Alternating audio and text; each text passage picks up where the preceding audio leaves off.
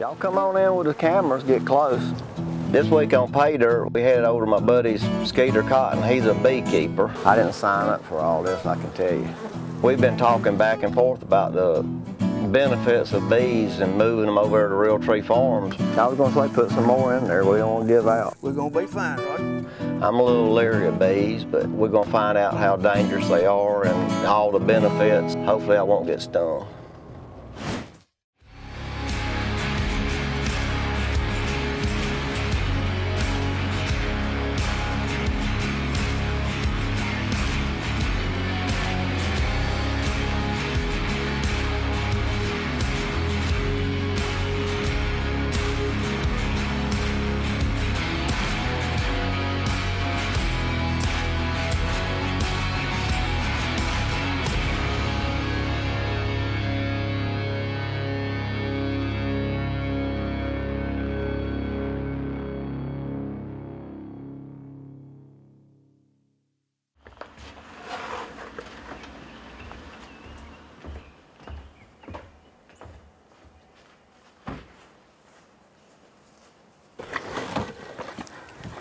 What's up, Skeet? Hey, Roger.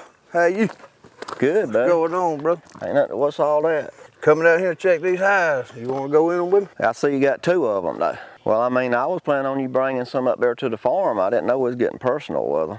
If we're gonna take them It to the farm, you need to get in 'em. Let me see that thing. I like that safari looking hat there. That's pretty cool there. I've, I have seen it. We've been talking about it, uh, getting some bees up there to the farm. You know, and, and I mean, I've read some things about the benefits of it and all, about the pollination, obviously. And then tell me a little bit, why, what, what's the benefits of me getting them at the farm? And I mean, you obviously is getting some benefit out or you wouldn't have all, be fooling with all these bees all the time. So what's it going to do for us if I get some bees up Well, it's gonna make your food plots a lot stronger.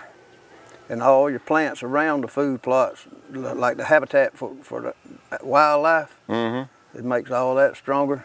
And uh, it's just, you benefit a lot. Your food, your food plots will do a lot better. There'll be a lot stronger plots for your deer and all the wildlife. Okay, so they, they obviously producing honey for you. Yeah, we get honey. We get we usually wait till about June, but or July end of June. But that Trump Tower right there is is working so good that uh we're gonna we're gonna pull some honey next week. What we need to do is put about two hives per acre, I got you. and that's about average 3,000, 4,000 bees in a hive. Mm-hmm. You got male plants, female plants, and the bees will take pollen from one to the other, and it makes them stronger and, and grow more seeds out. They, they're doing the pollination work instead of doing natural with the wind, Mm-hmm. and they work all day, you know, like from sun up, sundown. They're Yeah. out there working. I ain't much on getting stung. Now, h- how aggressive are them bees? You, you don't have to worry about getting stung out there. They, they, they're not worried about you. All they worry about is working I got you. and uh, taking nectar back to the hive, pollen back to the hive, make their hive strong, make your food plot strong. So basically, if, unless you just went up there and messed with one of them hives, Yeah. they not gonna bother you. I mean, unless you get them, like I've been stung, but really and truly, it's been like my fault on like slapping them or getting them in your clothes, and I guess they think they done got trapped. Yeah. Well, it's, it's kind of like, you know, if, somebody was breaking in your house, you'd get mad, wouldn't yeah, that's you? Well, right. you go to breaking in their house, they get mad. Now, is it true if they sting you that it, it kills them? Yes, it does.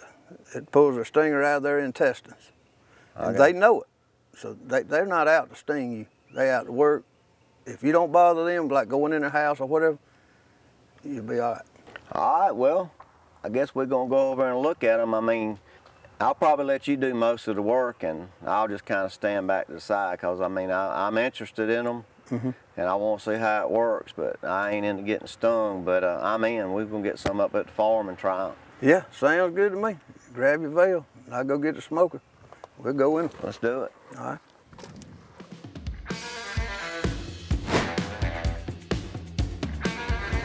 All right, today we want to talk about your neighborhood of your hunting property. You think you found the perfect piece you want to buy. Now you want to do a little research about what your neighbors are doing because you're only as good as the neighboring properties. You know, it don't matter if you've got 100 acres or a 1,000. The deer are leaving your property and have the chance of possibly getting harvested by your neighbor. That's a fact. It's just happening. You can do most of your homework with technology these days right here on the computer or on your phone. this particular program I'm using, you can look at landowner maps. You can figure out how big the tracts are around you and click on those areas, find out what the address or the phone number is for that landowner. Hey, maybe pick up the phone, introduce yourself, be nice. They, I'm thinking about buying land in the area. But there's so many things you can do right here on the computer. You can pull different years off different maps and see if neighbors have deer stands or food plots right on your line or, or maybe you know, where your deer will be transitioning to from your neighbors. So there's so much work you can do right here on the computer.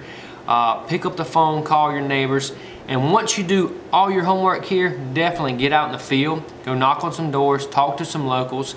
Um, I've even looked people up on Facebook and Instagram once I found them on here, looked at their deer pictures and found out, hey, are these deer being taken in the area? So there's a lot you can do right here on the computer. So do your homework right here before you go out in the field. That's hooked. Yeah, make sure they hook. They all hooked. Okay, take this thing. Wait a minute. Where's it at? See, this will be in the back. Take this and pull it around you. Yeah, and I wrap got it you. around you again. Again? Yeah. Hey, I didn't sign up for all this, I can tell you. How many times you been stung? A bunch of I- That's good for arthritis, ain't it? Uh, that's what they say, but uh, I don't know. All right, let's get this smoker lit and we'll go over here and open up that Trump Tower. Uh, Pine straw don't look too dry. Get a few puffs. See how that smoke turn brown? Mm-hmm. When you got a good ball of fire going in there. I was gonna say put some more in there. We don't want to give out. We're not. We're gonna be fine, Roger. Yeah, that's what they all say. Did you hear me say? Hey, what? Be fine. Yeah, watch this. That's ain't that the famous last word? Yeah, watch this. Females are the one that do all the work, That's right. basically. Every bee you see in the field is a female. The male bees are called drones. They're bigger. They do not have a stinger. They cannot sting you. And all they do is just mate with the queen. I got you. That's all they're good for. And at the end of the year now, the end of summer, there's no use for them. So all them queens, they're gonna, they gonna keep the drones out. Uh-huh. You'll see a, a swarm of drones and they don't really don't have nowhere to go. All right, let's Gotcha. go. Well, I like the drones if they ain't got stingers. Okay, well, what we're gonna do, give them a little puff up in the front here. Not much, just a little smoke. You hear them pick up the activity in there. And you come up around. Right here, this is called an inner cover. Uh-oh. Y'all come on in with the cameras, get close. Ain't no need in standing back there. There's a bug up there. All right, you see how I got the screen wire? Yeah.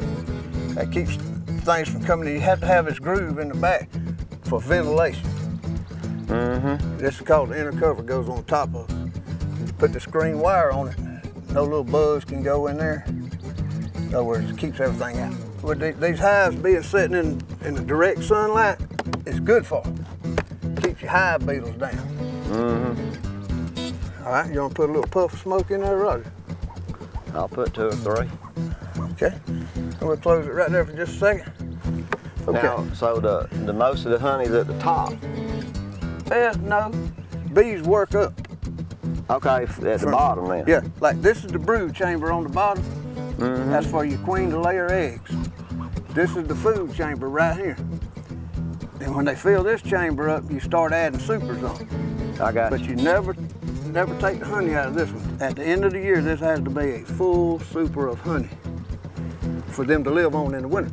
I got you. Plus, you, you know, I always feed mine in the winter. Okay, that's what I was gonna ask you. They they, they make the honey to to survive. I mean, that's what they live off of is that honey. Yeah. So you're taking that, but you're you're substituting it with what do y'all put in there for them to eat? Sugar water. Sugar water. Yeah, mix Okay. it 50-50. They really not gonna bother y'all. I ain't gonna say that because they could. Well, But that was not full of honey. They cap them off when it's full of honey. yeah, it, they put, There you go. you see how that's, how they're capping that off? Right here where it's, it's like white colored on it. Mm-hmm. They're capping it off. And, see, this one's not ready to pull yet. But then we'll just set this one right here. We'll go in right here, pull this next frame. It's looking a little better here. Oh yeah. See, that's just that. They'll have that whole frame right there, capped off like that right there. When they do that, ready to go. So when you when you get that honey out of them cones right there, you actually you just scrape that outside off. Take a hot. We got a hot knife, an electric knife, Uh huh. and just cut it. I Then you take this little rake thing, rake over it real a little bit. Then you put it in your honey slinger. Is that wax? Yeah, That's wax. They cut there. yeah. They're These are looking it. good in here now. And when all these frames is capped off with honey, Oh man, you can see You all get- that honey in there. yeah, it's in there. It's- Yeah, all that. You'll get Mm-hmm. uh, two gallons of honey off of eight frame. This week on Pay Dirt, our featured property comes from the great state of Mississippi. This 1,492 acre tract is a true sportsman's paradise. Located in Copiah County, this tract has excellent deer numbers and great genetics. There's also excellent turkey hunting on the tract. When you leave the Highway 28 frontage, you go through a gated entrance, down a long gravel drive, to an awesome camp right near the banks of the Pearl River. The property has almost two miles of frontage on the Pearl River, offering spectacular views.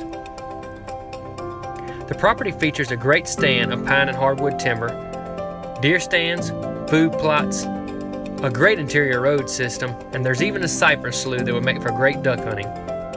This single large block of land has grown some of the best deer Copiah County and Mississippi has to offer. It's been in the same family for multiple generations. Being located not far off Highway 55, 40 minutes from Jackson, Mississippi, and a close drive from Baton Rouge and New Orleans, this track won't last long. If you like this property or properties like this, check out RealtreeUC.com today. They're obviously they're used to being here. Right. So when you if we move when we move them to the farm, what what do you do to move them? I mean, because Okay. obviously they they used to coming out right here, so you're gonna be they're gonna be somewhere Yeah. they ain't never been. What we're gonna do, we'll have to get these, we'll get there late in the afternoon, let all your work bees come in. And then on the front of the hive here, we're gonna put a moving screen, what they call it. It just, you put it on there, in other words, they cannot get out. Right. And I'll run a strap over, over the top of that hive and hook it to this, pick the whole frame up, and we'll take it to the farm, set it out at your food plot. We'll set it out facing southeast. Mm-hmm. And if we could have like uh, these trees here, a backdrop behind it to block the wind, Yep.